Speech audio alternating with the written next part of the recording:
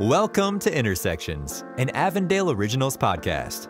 Bringing together the most intriguing people, from entrepreneurs to explorers, we dive in to find their common intersections and provoke elevated conversations. Follow along as we discuss life, business, fast cars, and everything in between.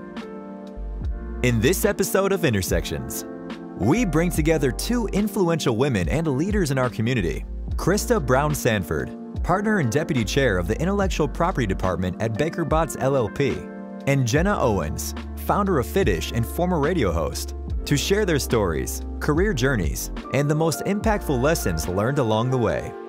As you listen, you'll find that they both reference pursuing careers, partnerships, and community collaborations that truly personify and enrich their authentic self. The vehicles featured in this episode are the Maserati Quattroporte and the Mercedes-Benz AMG GT43, courtesy of Avondale dealerships. Jenna and Christa excitedly meet at the Olana, a 48,000 square foot venue located in Hickory Creek, Texas, a perfect setting for an elevated conversation. I'm excited to check this I'm house so excited out. too. It is gorgeous. Wow. So this is like 45,000 square feet outside of my Zillow budget. Yeah. Seriously. I mean, let's just take a moment. Look at this amazing chandelier. There's a mural up there. This is absolutely gorgeous. I know. I can't wait to learn a little bit about this from you today because you uh, started a side hustle some years ago, right? Where you actually build houses. That's right. In yes. all of your free time. Yeah. My side hustle is really my passion. You know, I love going into blank spaces and creating something new. Usually go in and I can see it before it's done, Right. right? And when it's in my head, I feel like I have to get it out. Have you ever built anything like this? Well, not quite. It's kind of amazing though, because it's kind of like Belle's castle, right? Like the Beauty and the Beast, but then there's cows outside. I know. Who would have thought we would have found this? Yeah, it's stunning. So, what car did you drive in today?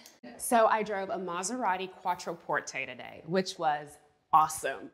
I'm in one of my favorite cars I've ever been in because it's like a sedan but incredibly sporty. It's the Mercedes Benz GT. I absolutely love it. It's so fast and so sporty. You know, I don't know if you know this, probably not, but I've been partnering with Avondale. It's just one of the many perks of working on the radio for so nice. many years. But I just love their fleet, you know, the offering because, you know, for now I can try and get in some sexy, sporty cars. And then at some point I'm going to need a little more of a mom mobile. But they have such amazing cars to choose from. So I'm so interested to learn about your career trajectory because I think that you've accomplished more than most women have in their lifetime mm-hmm. already. And uh, it's just really fascinating to think you've kind of been a trailblazer, right? In terms of where, how'd you get your start with engineering? Is that what you did at first? I did, but the funny thing is, I'm a bit of an anomaly. Um, I knew I wanted to be a patent attorney at 12, and I told my mom I want to be a lawyer. You know, I watched The Cosby Show, wanted to be like Claire Huxtable, but I was good in math and science. And my mom said, "Christa, you need to be a patent attorney." So at 12, I set my sights on getting on this track to become a patent attorney. So I did electrical engineering in college went straight to law school and then after law school i started at the law firm now even though i started so long ago i thought i'll just practice for a year and then go and work at my dad's company Yeah. but when i got into the law firm and i saw that there were not a lot of people that looked like me there you know i was one of two african american attorneys that started the year i started um, there was one other that was there at the time no african american associate had been promoted to partner Male or female? male or female. Wow. And I was the first one to get promoted to partner in 2014. I knew that I need to do something more than just sit at my desk and bill hours every day. And there was a bigger impact in staying at the firm and practicing law. What would you say was one of the biggest challenges you had to overcome? Getting comfortable with being the only one in the room. Mm-hmm. Yeah. And that has been my experience. So, I mean, during electrical engineering, Yeah. no one necessarily looks like me in the classroom when I was going through that. Um, but I got used to it and it helped me create a space where I could thrive. And I'm doing this so others behind me do not have to be the only one in the room anymore. If you could, I know it's difficult, but let's say you were talking to the 12 year old version of you and everything you now know that you had to go through, what would you say to the 12 year old version of you? I would tell myself to speak up earlier than I started speaking up. When I was younger, you know, I was the girl who was very polite. I was quite shy. I only spoke when spoken No, to. yeah. Oh, yeah. Now you see me talking all over the place. Um, but I remember after like practicing for four years, my mentor told me, he's like, Christa, you need to talk up during meetings. And someone, I had an experience where a summer associate, someone younger than me, noticed it too. And she asked me, she said, Christa, is it normal for associates not to speak during meetings? And that was like a light bulb moment like, oh my goodness, I am shielding myself from being my authentic self at the office. And when I realized that, I kind of changed my course and really brought Christa to the table every Mhm. day. And I think if I had started doing that earlier, what else could I have accomplished? So I tell everyone now bring your authentic self Yeah. every day, the Yeah, first day. It's great advice. Now, Yeah. see, I never had a problem speaking up, I obviously. know. I mean, you've been on the radio and yeah, I had like, to find a way to get paid for the amount of talking that I did. Yeah, or I was just going to be, you know, lost somewhere in the world. But I was so different than you. I think people are so fortunate. I, I still remember my dad told me when I was graduating college and I still didn't know exactly what I wanted to do. He told me I was rudderless, and I was so mm. upset by that because I thought, you know, he was different. He was how you were. He knew from a very young age what he wanted to do for a living, and I think it's you're almost in a more difficult position when you're in college and kind of going through experiences and you don't know exactly what you want to do. And I've always kind of lived my life in a way that I say, well, you got to try a lot of things, right? Like that's kind of advice I give to women when they're trying to heal from a breakup or just in general. I say, you kind of got to throw it all against the wall and see what sticks, you know? And so that's kind of how I took the approach in college. I did a lot of things. I mean, I knew I loved to talk, but I didn't know that that was going to land me on the radio. You Yeah. know, I actually had applied to do some TV news reporting out of college, but every station that was going to hire me told me I had to cut all my hair off real short. And I, of course, was so independent. I was like, well, I'm not going to do that. Why is you know, that? Find- I don't know. They just wanted a more conservative look, I guess, than what I was giving.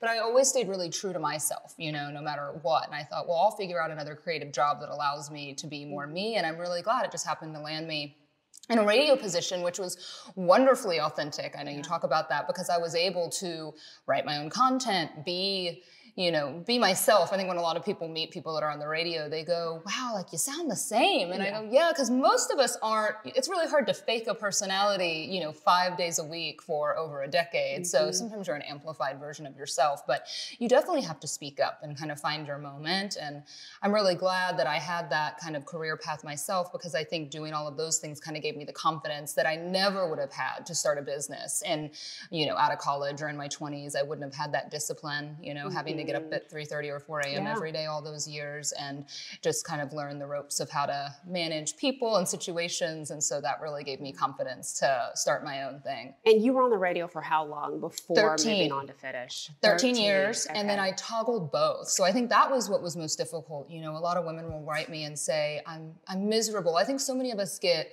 really complacent in life mm-hmm. right? But i think the fear of leaving a stable job keeps us at bay. Like you know it keeps you and holds you back from doing something that you never really know what's on the other side of that fear unless you try. And so i toggled both jobs for two years so i could keep putting all the money back into the business keep taking my steady salary because i had a lot of fear there. I always thought one day i would wake up and i would go this is it. I'm done. This is the time. I'm going to leave. And i never got to that place i got to about 75% certainty that it was a good idea you know and i thought i mean my mom's always been so supportive of me you know i grew up an only child so like i could tell her right now i want to go try out for american idol. I'm a terrible singer. She'd be like so you know she was blindly supportive of me which was great. You know my dad was more how much money have you saved? You're going to leave this radio job you've worked so mm-hmm. hard for. And i just felt in my gut i was like i have to try this right? So yeah after about two years of burning the candle at both ends i thought well you know what's the worst that can happen? You know the business fails like a lot of businesses do and i still have a skill set that i can go back to. So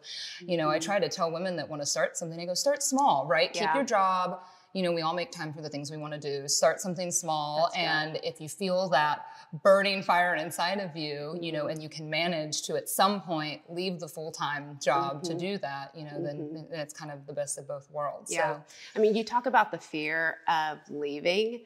I actually experienced something opposite at my firm. You know, I've told you I've been at the firm for 17 years and at there I came to a point where I thought, you know what, I probably should do something different and consider going to a company or potentially going to another firm. And I got to the place where I decided to do something and after I told people at the firm I was going to do it, they tried to convince me to stay. Of course. And I actually went through a time period where I had a fear of staying. Mm-hmm. And if I had not stayed, the trajectory and the impact that I would have would not be the same. And staying actually put me in a place where I am having a bigger impact with the people at my firm and more broadly in the industry. So I had to get over that fear now. What was way. the catalyst to get you to stay? Um, I looked at my mentor who had been with me since my first year of law school, and he was actually an adjunct professor at SMU's law school. So I knew him from that early time. And when I talked to him and my husband, he was a huge part of this conversation and decision. He was like, look at what Bart has done and what he sees in you. And Bart saw something in me that, quite honestly, I didn't see it in myself. And trusting in him and, you know, trusting my husband's kind of gut reaction to that got me to the place where I took the leap and I stayed. And it created opportunities that really I could not have dreamed of. And Bart continues to be kind of a catalyst in my life to this day. Yeah, that's amazing. Mentors are so important, you know, and I think people struggle, especially in what we've gone through in the last year, to find in person yeah. mentors. And I had read somewhere once, and it was just such kind of a light bulb moment for me. You don't have to know your mentor. That's right. Your mentor can be a stranger. You know, you can actually just read, you know, maybe it's an author that's in your same line of work or something like that, and they've written books about it. So you can kind of follow along with their journey, and that can be a mentor mm-hmm. for you. And that's kind of what I had to do. I mean, I didn't know yeah. anyone that was on the radio that then started a skincare business. So I just kind of had to look for, you know, maybe other women that had started businesses that were really vocal about their entrepreneurial journey. And that really helped me because you learn about people's almost failures yeah. and it gives you so much more confidence to keep keep going. So, did you have different mentors from your radio days to where you have now? And like, how did you find sure, your mentors? but you know, the host of the radio show I was on for years passed away. And I mean, and he was the greatest mentor ever. So, what do you do when the host right. of this person that you look up to and have a great relationship with, that you kind of base your everyday on, you know, mm-hmm. passes away? I mean, that's definitely one of those moments of, oh my gosh, am I going to be lost now? Yeah. And then you kind of learn, well, I've, some skills have been instilled in me and that advice. And then, yeah, you have to look, you have to look elsewhere. Um, and that's kind of when I started shifting gears and thinking mm. about what the next step would be uh, for me in my life. So that was almost a catalyst for you. Sure. To switch and now to completely move full hog into Fitish. Yeah, I think that, well, what do they say? You know, try and make plans. And, and like, you can't make real plans for your life no matter what you're doing because things always change. You know, at the time before he had passed away, I had actually, and I don't think a lot of people know this, I was going to take a job in Los Angeles at mm. a kind of an entertainment news show. Mm. And no one really knows that. But when that happened, it kind of pulled, something pulled me back back to Dallas and I wanted to kind of continue, you know, continue doing the show for a while. And it was amazing. It just felt right. When for years I had been kind of angling to leave and go on and do something else in that field, I never in a million years would have thought that I would have ended mm-hmm. up where I was, you know. So I think sometimes it's just kind of about letting life lead you and then going through that open door or open window and seeing, you know, I never thought I would be here. I mean, Fitish started his workout program So yeah. I always tell people, I didn't know exactly. You don't have to have that idea exact. You just have to kind of start figuring it out. So now it's workout programs, it's skincare. I don't like to work out that I much. Mean... I don't like to work out that much anymore. no, it was just a way to test the market, you know, and see if people were interested because it was more about the lifestyle, right? Mm. It was mm. about, you know, working out a little bit and not feeling guilty, right? So it's always been for me about kind of conveying to women and men that that balance is a good thing, that yes. we're so inundated with health and fitness that this was about being fit-ish, right? Yeah. So it was a real authentic part of my identity and then it morphed into this topical skincare. Uh, and that was that you talk about you know never make plans which is such an important thing i think to keep in mind as a mom like i am a control person no. type a to the max i don't know if you can tell um, but i had to really learn in this journey of motherhood with my three kiddos now that the plans i make may not be what they want. Right. And as a mom, you're you a lot of times you are responding to the moment and what is in front of you. And I've really had to learn throughout my 14 years of motherhood that I have to be flexible and adjust and manage my expectations when, you know, I get up in the morning, I have a list of things to do. Well, someone just woke up sick, and how am I going to now manage through that and manage my expectations. And that has been just a great lesson that I've now been able to apply in so many aspects, right? With work, when I get a client call at 8 p.m. and they need something done by 8 a.m., you know? And so it's really helped me to understand, it, it's helped me grow in so many different areas because I've learned to do that. You know, I think a woman that's in my stage of life, you know, I'm just now kind of on the precipice of starting my own family. And I think looking at someone like you, you seem like superwoman to me because you have the successful career, the side hustle, three children at home. How, I mean, what kind of advice would you give someone like me who's at just a slightly earlier stage and how to maybe balance it or just the expectations I should have? Yeah, so one thing I would say is it's not really a balance every day is an opportunity to learn and grow. And, you know, when I first started practice, I was like juggling one ball. Right. And I was just trying to keep that ball in the air. And now I have like 50 balls that I'm juggling. And it's not a balance, it's a juggle and trying to keep all the balls in the air. So I think if you learn to kind of get out of the space of trying to make it this balance equilibrium, because it never is, I think that helps your um, response when something happens, right? Like, and that's what I'm talking about managing my own expectations and managing your own expectations. That baby is not going to look like he just came out of the catalog for the Gap. Yeah. Baby may just have a onesie on, yeah. right? I feel like my baby's going to be naked. And baby is alive, baby is fed and has milk, you know what? You did your thing that day.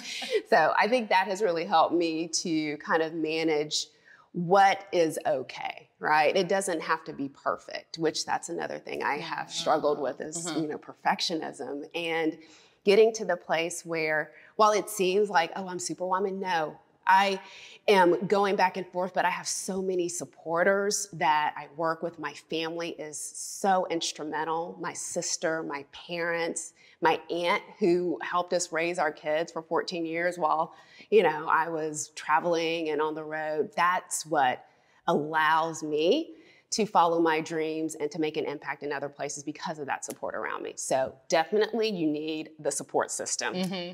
Okay, I'm gonna get to work on that. now, is your mom here in town she with is. you? She is. See, now that's great. She is. Yeah, she's she's in town, so she'll be helpful for sure. Well, she, her name's Candy, and so when I've asked her what I want her grandma name to be, she goes Candy. She's like, That's I think perfect. Candy's a good name. She goes, but I don't want to be full time grandma. I was like, Yeah. oh, really? You're already cutting out? So I'm going to probably need more help than that. Yeah. Okay, so you need to have that conversation early, right? So Yeah. y'all can both set expectations, and then you won't be upset when Candy is going out for the night. Yeah. right? All right, I'll get on that. yeah. So one thing that I've had to work through is like with my parents, like my mom has Parkinson's disease. Mm. And so she's not able to necessarily help in that way, Mhm. but finding, you know, how can we still make this village work with Yeah, all and still those other bond. things? Yeah, I bet that is a challenge. Yeah. And it's funny now that I have a 14 year old, a 12 year old, and a nine year old. I'll tell them, okay, you're going to go to Mimi's house and you're going to actually watch Mimi Yeah, to make sure she's okay. care of her. That's right. Yes. Yeah.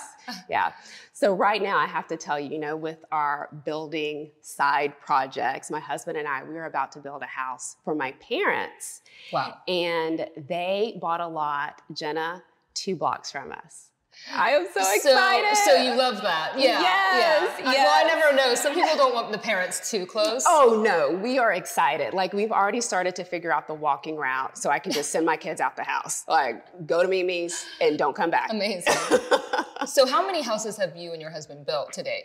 So this next house will be our fifth project. Wow. Um, we had a house in Lakewood in East Dallas, and we did some fixing up to it, but then we bought a house in Forest Hills in 2013, and we decided to renovate it. We hired a contractor, ended up having to do it ourselves. And I remember my husband called me one day, and he was like, Well, you know, you thought we were just gonna add a second story, but I'm out here with the demo guys, and we're just gonna tear down the house.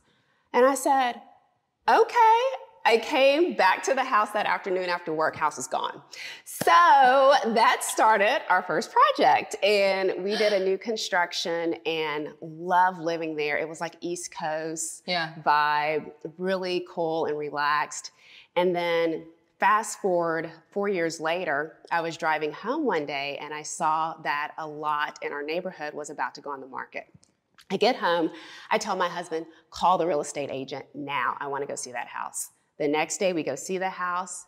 We put a contract on on Monday we sell our house within a week and then we are moving on to the next project. And so my husband told me one, I can't drive and look at any lots yeah, anymore. but you're living in your builds and then selling them and doing That's the next right. one. Yes, yeah. yeah. So we finished that project in 2020 and now we've been in for, you know, a little under a year and it's been so fun.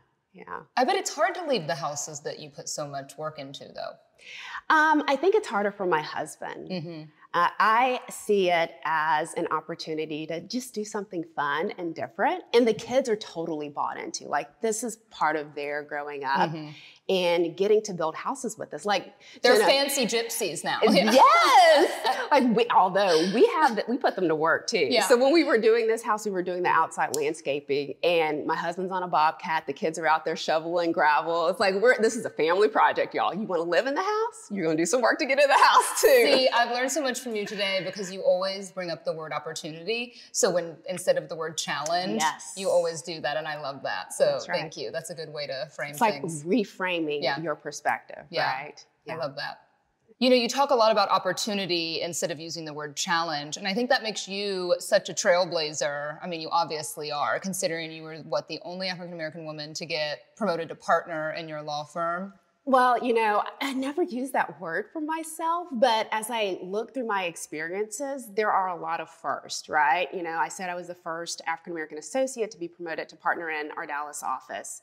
Well, now I'm the first African American to have a firm wide leadership role as deputy chair of my department and the first African American woman to be on the executive committee now. And while I'm doing that, the point is to not be in a place where they're still first happening, right? So when I had my daughter nine years ago, as soon as she was born, I looked at her and I said, You're gonna be a patent attorney. And as I go through these stages, I think that I know, that's me. OCD, right? Yeah, type A. Um, what if she um, wants to dance? no, she's gonna be a patent attorney. So as I think through that, in 15 years, right, when she's at a law firm, I don't want her to be the second or the third. I want it to be normal to have yeah. an African American woman that's a patent attorney that is going towards partnership and has a seat at the table. And so I really want to use all of the spaces I'm in to provide opportunity for those that are coming behind me. Yeah, that's incredible. You know, I looked really hard for women that had, because what I did was a pivot, right? Right. And so that's kind of what I looked for to give me the motivation to then try to be my own trailblazer, but to try and do the pivot, right? The art of the pivot's kind of tough because there's a lot of women like you who knew from the age of 12 what they wanted to do.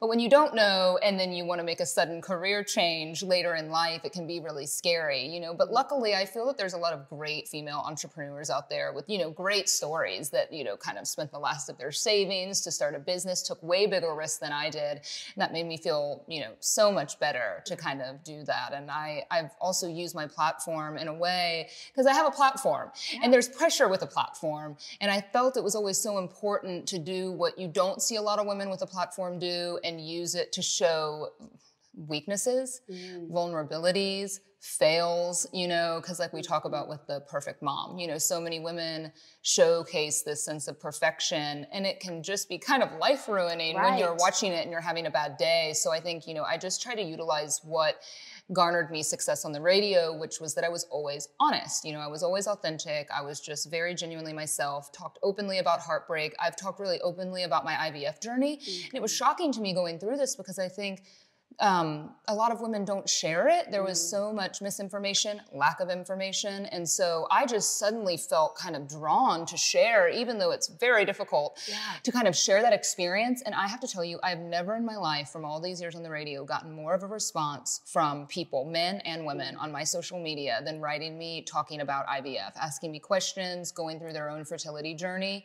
And I think it just says everything, right? People just want honesty. Yeah. You know, because we we all share a lot of problems, and so many people just don't talk about them. I mean, it seems like you've been a trailblazer in your own right with the pivot that you took, right? Not And- as much as yes, and how you're now sharing in a way that may not have been status quo before, and that's awesome to see too. you sometimes you don't know where your life's going to take you like we've Mhm. talked about you know i never thought i'd be end up on the radio with that kind of platform and have a business and so you just kind of have to go in a direction that you feel compelled and it's been amazing because actually avondale's been so supportive supportive of me and my journey. You know i've been partnering with them for a while and i you know they were one of the first to know that i was leaving my radio show. I go do y'all still want to work with me after i leave the radio show? Do i still have value you know as a brand partner to you? And it was so amazing because their response was like of course we love the platform you've created. We love that you know you stand up for women. That's exactly what we want in a partnership mm-hmm. out of you and it's just been really amazing to carry that on and our relationship has just turned into something so phenomenal you know for me getting to work with brands in general I, you know there's really been nothing like avondale for me because they care so much about not just here will you post a photo and promote the brand but what else are you doing you know in terms of philanthropy for instance you know they introduced me to other charities in dallas like new friends new life which i know you've been a part of as well right Yes. I mean, and when I saw that intersection with Avondale and New Friends, New Life, I just got really excited because I'm on the board now for New Friends, but I started volunteering there 11 years ago. And I got introduced to New Friends, New Life through the Junior League of Dallas, where I started as an active member in the Junior League in 2006. And now in my 15th year, I'm president of the Junior League of Dallas, which is amazing. Wow. Um, and, you know, another kind of first is I'm the first African American president for of this course you are 100 year organization. when do you sleep when do you sleep? I do. I promise I sleep. I need my sleep. like three hours four No, hours A lot of hours. yeah So it's really fun to be able to impact not just the business world, but the community, right? Yep. In a different way and to create an opportunity for all people Mhm. to participate in different avenues of life. So You know, I've tried to use my platform in terms of philanthropy to kind of showcase all the wonderful organizations there are, you know, around the DFW area because I didn't even know about New Friends, New Life until Avondale introduced me. And I think it just says a lot that sometimes you just need to kind of disseminate that information. So I feel really proud to have that platform and use it in a positive way a lot of the time. And I carried over something we used to do on the radio was, uh, you know, we would do these Christmas wishes. So, you know, when you have a platform like that, people nominate families and then we would try and grant these wishes. And so when I told uh, the staff at Avondale that that's kind of something I was just interested in doing, I wasn't sure how they'd receive that since it wasn't kind of an organized, you know, charitable situation. But this is something I wanted to do because I still get a lot of people writing me about, you know, nominating people in their life that really have just had a, you know, downturn of luck in their lives. So we've been doing that the last couple of years around the holiday. And it's just been amazing to try and, you know, use my audience as a way is here, you just, you want to help, but here's a way that you can help. So Yeah. it's just been really, really wonderful because what good is a platform if you're not using it That's for good? right. So I have to tell you a secret because I have listened What? to Okay. KISS 106.1 all the time. And I will say, when you were doing the Christmas wishes, I was basically crying the whole week. Right. It was so emotional and so impactful, just what we think may be a small thing, mm-hmm. what it really can do. And when we think about, you know, using our platforms, our Mhm. opportunities to really impact others, I mean, what better way to really change the world and make a difference? Perspective will do a lot for you sometimes, right? Mhm. It's all about right. perspective. Yeah, we've talked about that a lot today. Yeah. Our own and others too. Well, I'd love to get your perspective on building a home for myself. You got that, Jenna. You're going to be my next client, I think. Let's get out of here. Maybe we can find some other ideas in here. This has been great. Let's do it. Thank you for joining us on this episode of Intersections, an Avondale Originals podcast for elevated conversations. If you'd like to see more from our guests and the cars featured in this episode, check out the video series on Avondale Dealership's YouTube channel. Questions, comments, or suggestions for future guests? Email us at intersections at avondale.com. Want to check out the cars from this episode and more? Visit Avondale Dealerships at avondale.com to browse our collection of luxury cars. Until the next time.